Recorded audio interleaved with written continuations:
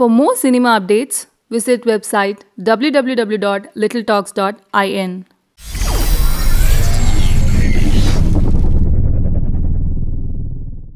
ஆரவ் அவர்களுடைய திருமணம் செப்டம்பர் ஆறாம் தேதி நடக்க போகுது அப்படின்ற செய்தி தான் இப்போ சோஷியல் மீடியாவில் வைரலாக பரவிட்டு நிறைய பேர் இந்த நியூஸ் கேட்டதும் ஓவியா தான் மணப்பெண்ணா இருப்பாங்க அப்படின்னு நினைச்சிருந்தாங்க. ஆனால் எல்லாருக்கும் ஷாக் கொடுக்குற விதமா ராஹே அப்படின்ற ஹீரோயினை தான் ஆரவ் அவர்கள் மேரேஜ் பண்ணிக்க போறதா சொல்லப்படுது.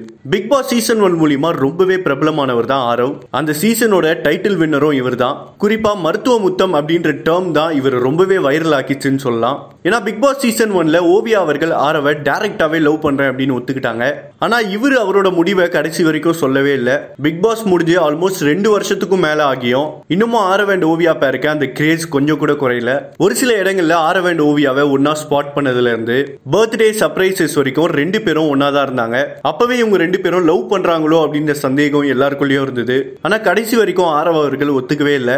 ரீசெண்டாக ஃபாரின்ல கூட ஆரவ் அவர்களை ஒரு கேர்ள் கூட ஸ்பாட் பண்ணாங்க. அந்த பெண் ஓவியா அப்படின்னும் சோஷியல் மீடியால பயங்கரமா வைரலா பரப்பி விட்டாங்க.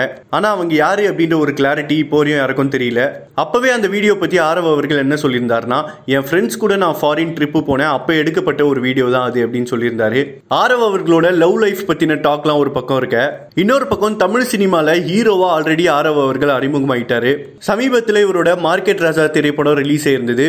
அண்ட் அடுத்து ராஜபீமா அப்படின்ற திரைப்படம் ரிலீஸ் ஆக போகுது. ஆரவ் அவர்கள் சோஷியல் மீடியாவில் அவ்வளோவா ஆக்டிவா இருக்க மாட்டார். ஆனா ஓவியா அவர்கள் ரீசெண்ட் டைம்ஸ்லேயே சோஷியல் மீடியாவில் ரொம்பவே ஆக்டிவா இருக்காங்கன்னு சொல்லலாம். அப்பப்போ லைஃப் பற்றி நிறைய கோட்ஸ்லாம் போடுவாங்க. அண்ட் அது மட்டும் இல்லாமல் ஃபேன்ஸ் கூட இன்ட்ராக்ஷனும் பண்ணுவாங்க. லாக்டவுன் ஸ்டார்ட் ஆன டைம்ல இருந்து இப்படி தான் போயிட்டு இருந்தது. ஆனால் திடீர்னு இப்போ ஆரவ் அவர்களுக்கு மேரேஜ் அப்படின்ற நியூஸ் எல்லாருக்கும் ஒரு பெரிய ஷாக்கிங்காக தான் இருக்குது அண்ட் அது மட்டும் இல்லாமல் கௌதம் மேனன் அவர்கள் டைரக்ட் பண்ணுற ஜோஷுவா இமேபோல் காக்க அப்படின்ற திரைப்படத்தில் ஹீரோயினாக நடிச்சிருக்கிற ராஹே அப்படின்றவங்க தான் மணப்பெண் அப்படின்னும் சொல்லப்படுது. இவங்க லவ் மேரேஜ் அப்படின்னும் வீட்டில் சம்மதத்தோட கல்யாணம் பண்ணிக்க போகிறாங்க அப்படின்னும் சொல்லப்படுது. ஆனால் இதை பற்றி ரெண்டு பேருமே இன்னும் கன்ஃபார்ம் பண்ணல. கூடிய சீக்கிரம் அவங்க கன்ஃபார்ம் பண்ணுவாங்க அப்படின்னும் எக்ஸ்பெக்ட் பண்ணப்படுது. ஆரவ் அவர்களோட இந்த மேரேஜ் நியூஸ் பத்தின உங்க ஒப்பீனியனை கீழே கமெண்ட் பாக்ஸ்ல பண்ணுங்கள் மறக்காம லிட்டில் டாக்ஸை சப்ஸ்கிரைப் பண்ணுங்க. அந்த பெல்லைக்கானே தட்டி விட்டுருங்க.